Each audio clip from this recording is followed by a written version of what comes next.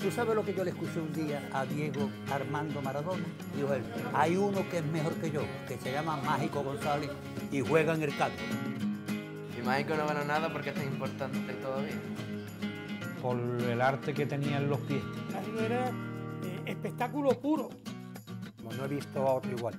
Es como si ¡pum! hubieran hecho un molde pequeñito de Cádiz, encarnar a una persona y ese era Jorge.